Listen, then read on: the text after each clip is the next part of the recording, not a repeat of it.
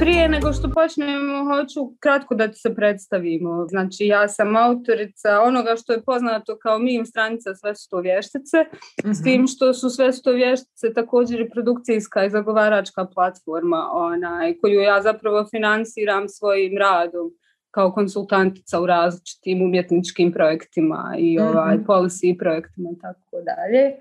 Znači ti si vještica. Ovaj, ja sam prava vještica.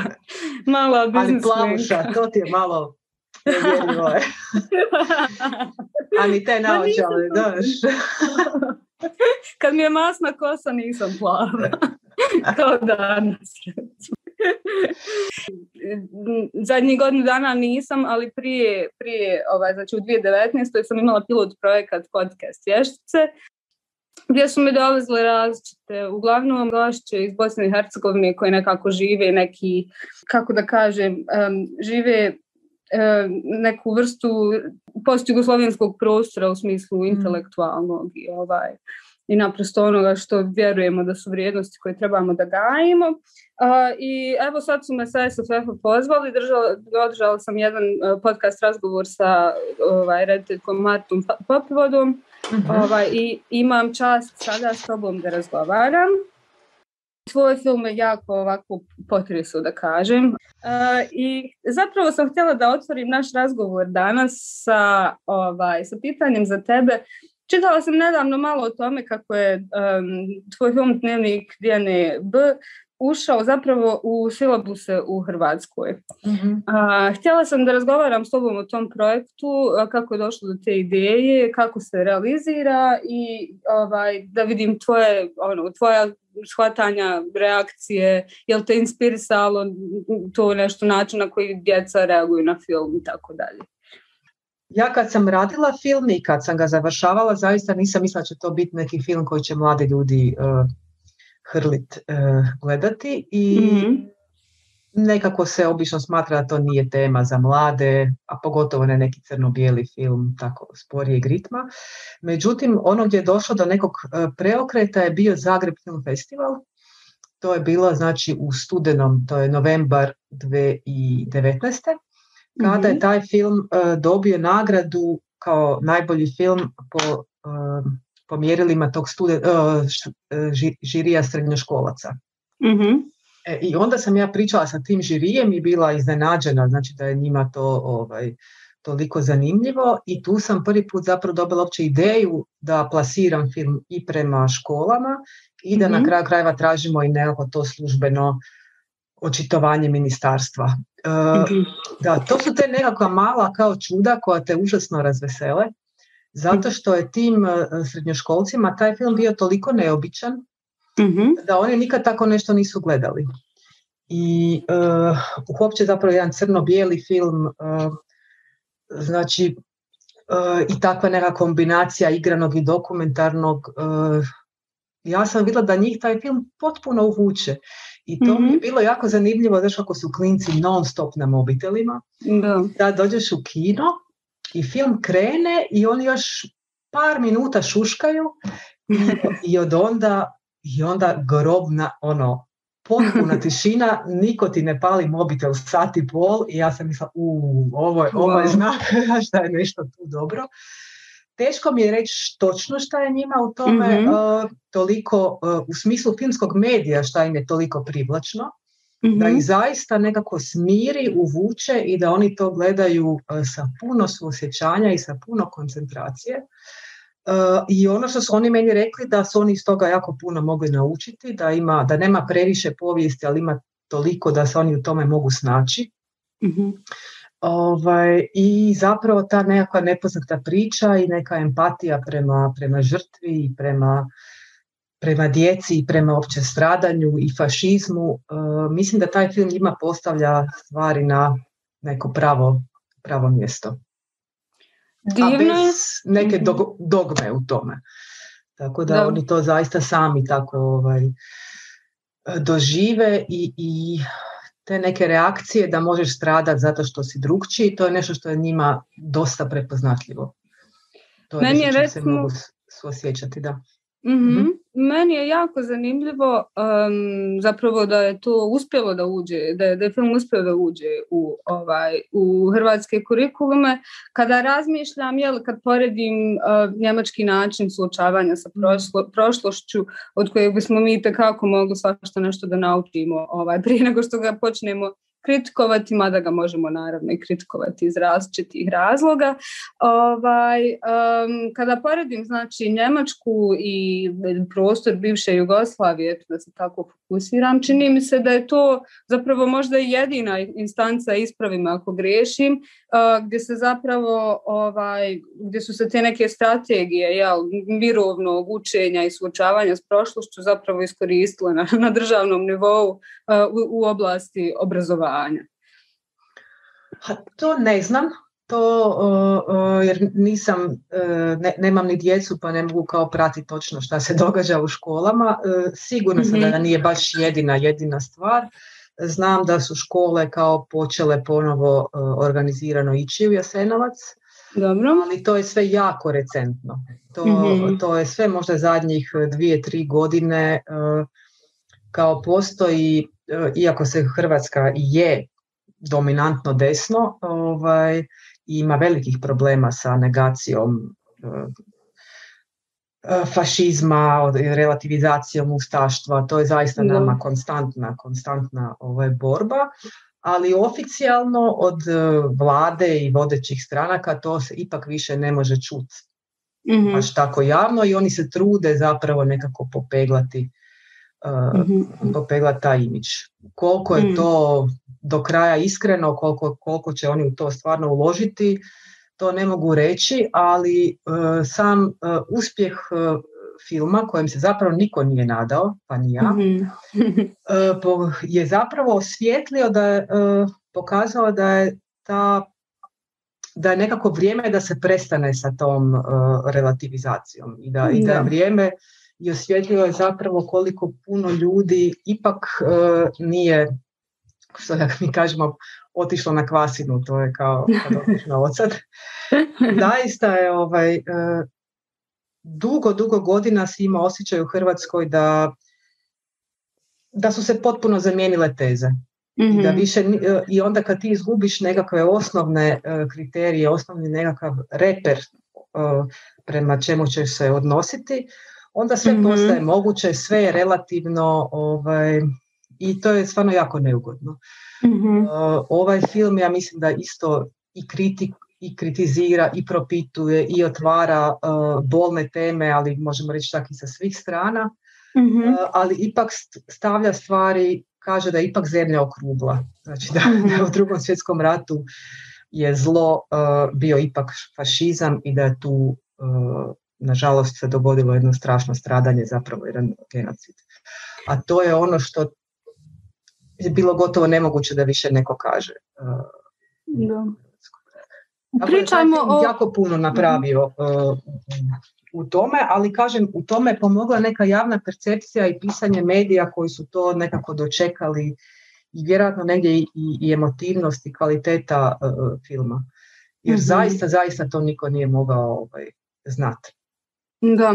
To je bio užasno riskantan film, ljudi, mislim i moji kolege i sve to svi su se nekako bojali šta će, šta će to biti, koliko ćemo e, kanti kritika ovaj, i prijetnji dobiti, a na koncu smo sve, sve to postalo, sve te kritike i puno smo mi kritizirani od nekakvih, hajmo reći, desnih medija i mm pa i na samu tu odluku da film ide u škole, to je ovaj, to imalo velike protivnike. Da, da, da. Pokušali to vratiti, na ono, sporiti i tako, ali, ali ajde, držimo se nekako, meni se uvijek, ja se uvijek veselim kad se vidi neko svjetlo u, u tunelu.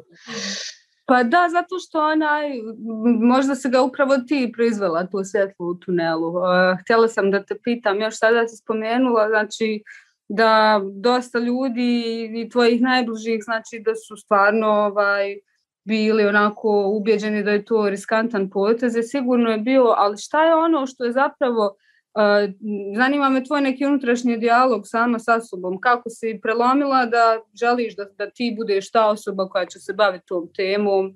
Ajde idemo full in, još, ona, još jedan nivo tu je što je jel, to bio tvoj prvi igrani film, da si se bavilo dokumentarcima, mislim to sve je onako, um, sve te stvari su sigurno jedan, ne znam, neki proces razmišljanja koji, koji je morao da bude um, i dosta ono, mislim, znaš, to je nešto što, mislim, kad razmišljamo o sebi, to je nešto što, što ono, ono nekako protresa tvoj cijeli moralni kod mm, mm. i još sto stvari.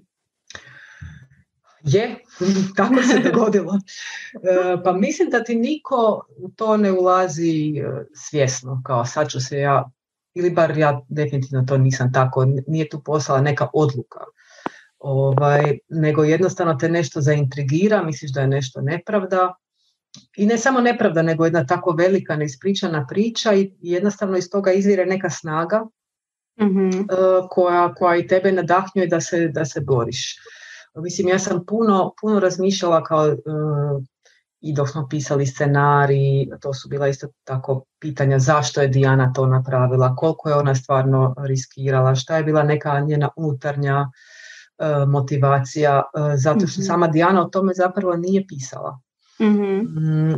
I razmišljajući puno o tome, uh, shvatiš da isto nema tu neke velike odluke da. svjesne, nego jednostavno mm. ti kreneš, kreneš raditi nešto malo, mm, pa te to povuče, pa nije problem napraviti malo nešto veće, na kraju tu shvatiš da si jedini koji to radi i da ako ti prestaneš da će se sve uh, srušiti, vidiš koliko to znači ljudima kojima ta pomoć stiže i na neki način ti si unutra. Ja sam mm. sigurna i kad čitaš dnevnik potpuno je jasno da Dijana na početku ne misli da će to rezultirati takvom nekom akcijom. To, to je jedna gotovo danas bi rekli onako građanska pozicija u kojom se događa nešto loše pa ćeš ti pa ćeš ti malo pomoći jer osjećaš tu nekakvu građansku dužnost. Znači ona mm prvo hoće dati samo nekakvu financijsku, ona hoće dati samo nešto novaca za pomoć ljudima u, u, u logorima. Mm-hmm. Uh, I onda, onda shvati da nema kome dati novac i da se za pravoslavce niko ne brine. Da. I razumiješ, i sad je to samo jedan korak, drugi korak uh, i da ako hoće nešto napraviti, mora napraviti neku svoju privatnu uh, organizaciju. I, I tako pričala sam neki, sa nekim ljudima koji su se humanitar, humanitarno angažirali u ovom ratu 90-ih mm i to je vrlo sličan mehanizam. Mm-hmm. Slučajno zapravo nekako se za, okrzneš o to, ne možeš više spavati sa tom ono, mm. i, i, ovaj, i za čas se nađeš u najvećem da, ne, da, da ne kažem što, mislim, vrlo mi inspirativna bila priča te gospođe koji su iz današnjeg vremena i vremena 90-ih, mm-hmm. koja je imala ured blizu nekakve E, humanitarne organizacije i oni mm su je samo zamolili da im mora nešto isprinta. mm I, ovaj, I ona je to naravno kao napravila. Mm, a onda su je zamolili ako može doći na njihov sastanak, uh, ako će slučajno trebati još nešto isprintati.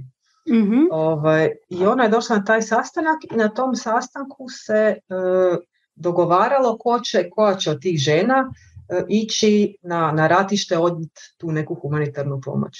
I kako su se one dijelile, tamo, i uvijek su išle u parovima, e, ostala je jedna sama, zadnja. mm I onda su pitali tu moju poznanicu, pa da li biste vi išli mm s njom kad nema već ko. I sad je njoj bilo naravno neugodno.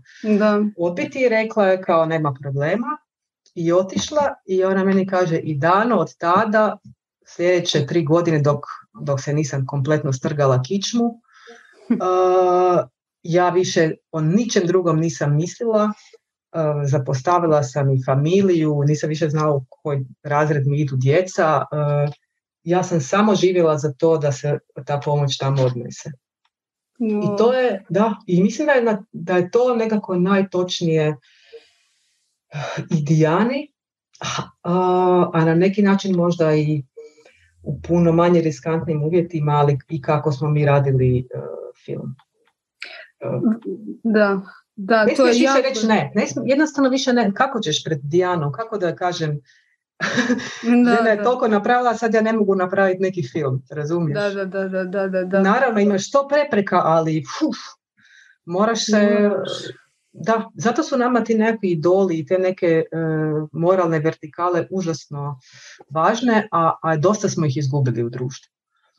Pa jasno, mislim, o njima ono, se da se ispravljaš, znaš, se ovako ti postane mm. teško, onda, onda, onda se malo yes. praviš i, i ideš ovaj, e, dalje. Ja, jako je to osnažujuće zapravo kad, kad u to kreneš. Pa čini se da zapravo u, ratnim stanjima, u stanjima krize i tako dalje, da, um, da su upravo jel, najveći heroji oni ljudi koji, se, um, koji prepoznaju birokraciju zla na neki mm-hmm. način. Um, I mislim da je onda ovako sad kad razgovaramo, kada mi pričaš jel, taj proces kojim zapravo postaješ heroj, bez da to znaš, mm. bez da to želiš, bez da išta, nego naprosto moraš to da uradiš. Jako me posjeća nekako, stoji kao antipod upravo birokraciji zla um, koju sam ja najbolje upoznala kada sam ovdje bila u jednom muzeju koji se zove Top Funzone. Mm-hmm. Top Funzone je bila uh, firma koja se bavila um, proizvodnjom stočne hrane za njemačku vojsku prije rata, uh, prije drugog svjetskog rata da bi upravo kroz biro, birokratizaciju neko je nekog zamolio da nešto isprinta, pa su i zamolili da nešto, pa mm. nešto, pa nešto, pa nešto, ovaj, da bi oni došli do toga da zapravo proizvode peći za, za ovaj, ubijanje jevreja u logorima. I sada u tom muzeju, koji je zapravo jel, mjesto gdje su se te peći proizvodile, ovaj, oni su jel, napravili memorialni prostor ovaj, koji, koji, jel, koji je edukativnog karaktera oni upravo pokazuju svu dokumentaciju, jel, kako su Njemci mm. onako poprilično analni oko toga, svu dokumentaciju koja je vodila od toga da oni od proizvodnje stočne hrane za vojsku dođu do toga da tako hladno ovaj, mm. da cijela fabrika učestvuje u onome i da znaju zapravo šta se dešava. I uh, fascinantno mi je bilo, jel na kraju cijelog tog na kraju prolaska kroz cijeli taj muzej, ja sam pitala Kustasicu, dobro, pa je li ko, mislim, je, li ima ikakvih dokaza da je iko reagovao na ovo i u jednom trenutku, mislim, jer tamo stvarno stoji, znači, ne možeš ti proizvoditi prvo peće za veličine ono, za jednog čovjeka, pa peće veličine za sedam ljudi i ne znači šta se dešava. Jasno. I, ovaj, i Kustasica mi je rekla da je zapravo bila samo jedna jedna sekretarca koja je mhm. negdje vidjela neki dopis koji joj je bio ono, katastrofalan i koja nije imala snage da to podnese dala je otkaz. Znači cijela fabrika učestvuje u tome.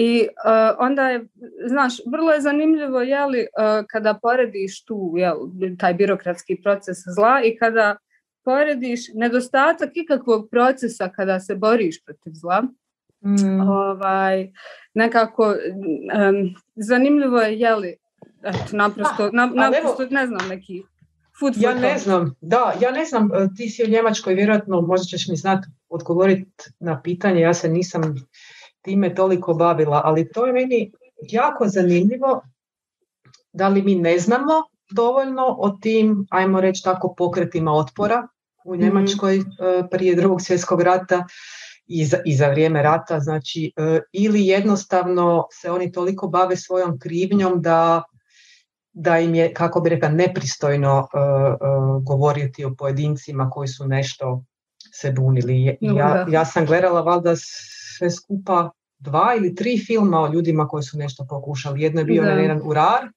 mm. i ova, kako je, Hana Šol, se tako jest, jest, jest. I sad je to moguće da tolika nacija ima maltene dva, uh, dva takva predstavnika da. I, uh, ili zaista uh, eto se oni još nisu počeli baviti tim temama. Ali mislim da kod nas za Hrvatsku sigurno, ali mislim da je to vezano za cijeli naš prostor, mi se nekako prirodno opiremo birokraciji. mm I E, nama se, neću reći ne može tako nešto dogoditi kao Njemačkoj, ali gotovo da, da ne može, jer zato mi ne možemo imati ni funkcionalne države baš. Da. Ali, ali jednostavno ti ne možeš kod nas ljude natjerati u takav stroj, ni u pozitivnom smislu da ih oko nečega organiziraš niti, niti u negativnom. I to je, i mislim, ustaški režim je donio strahovito stradanje i klanje i ubijanje, ali nikad to nije imalo ovu vrstu sistematizacije mm koju pratimo uh, u Njemačkoj. I ako je bilo nekih pokušaja, to se nikad nije uspjelo zapravo realizirati. To je ono što su Njemci jako zamjerali Ustašama. Da. To je bilo jedno klanje na, sad samo da me neko krivo ne shvati, na puno primitivnijoj razini od onog što su oni uh, da. Ovaj, propagirali. Tako da mi tu možemo Plus toga sama priča Dijane, koja mm ipak u tome nije bila sama, ja ne znam mhm. da li Njemačka ima takvu neku uh, priču. Znači, ona je mhm. bila inicijator, mastermind, kako god, uh, imala je mrežu suradnika i ok, nek su oni svi bili tako hrabri, ali mi onda imamo najmanje 7000 porodica koje udomljavaju tu djecu. Da. E, znači da je taj, ono što je meni bilo prekrasno u, tom, u toj spoznaji i istraživanju te priče, da je taj otpor prema ustaštvu i fašizmu zapravo bio puno širi nego što smo učili da je on samo išao kroz komunizam, kroz komunističku da, da, da, da. kroz uh, uh, partizansku borbu ilegalu. Da? Znači On, je, on je bio i puno širi uh, od toga i to je meni baš nekako ispunjavalo ovaj srce. Znači i ovi da. velika mreža takozvanih običnih tihih građana zapravo nije bila za to. Obični, I, da. I, I može se to sve gledati kao neka kolektivan čin hrabrosti. Ovaj, I eto, ne znam da li u Njemačkoj postoji ili negdje drugdje takva, takva slična ovaj, priča. I zato je meni toliko tužno i katastrofalno da se Hrvatska pokušava brendirati ili da kroz, mm kroz taj ustaški režim, e, zato što mhm. on zapravo nije imao široku podršku. Da. E, I zato što je došao e, potpuno izvana. mm I to je nešto što sam si osvijestila kao jednu banalnu činjenicu, ali sigurna sam da kad bi išli sad po cesti da jako puno ljudi ne bi znalo dati odgovor na to. A to je recimo banalna činjenica da Pavelić nikada nije bio izabran od hrvatskog naroda. Mm-hmm, nego postavilo ga. ono, ga je postavilo, on je deset godina prije toga bio, e, uopće nije bio u Hrvatskoj. I uopće ne znam kako, kako, kako je to veliki i težak proces za Njemačku. Mislim, oni su izabrali Hitlera, razumiješ? da, i sve to uh, uh, sproveli. Ovaj, kod, mi zapravo nemamo, mi imamo strašan krimen tog tog ubijanja, uh, ali, ali sistemski mi zapravo to nije bila naša izmišljotina. Pa evo, nije, za kraj to nije nama, uh, razumiješ, to nije naša invencija.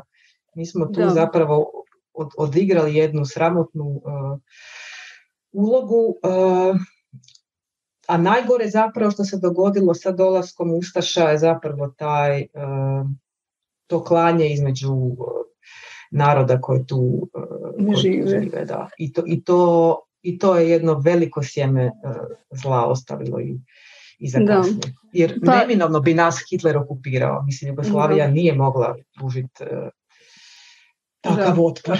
Ali baš dolazak Ustaša i njihova jedina mhm. politička agenda zapravo te mržnje prema, prema Srbima i, i moć koju su oni dobili kako je Hitler iza toga stao, to, to mhm. nas evo košta već desetljeća. Pa evo za kraj našeg razgovora ja ne mogu ti dati odgovor na to pitanje. Ovaj. Hrabro ću da zaključim da zapravo da je nedostatak tog te perfekcije sistema zla ovaj, u nas možda je jedini razlog zašto su mnogi od nas danas živi. Ovaj, na tu notu, eto, e, hvala ti puno za razgovor, drago mi je da smo se upoznale, nadam se da ćemo još razgovarati i ovaj, lijepo se prvat kroz frizer. Ćao, čao. Vidimo se. Ćao. hvala ti Dana. Hvala tebi.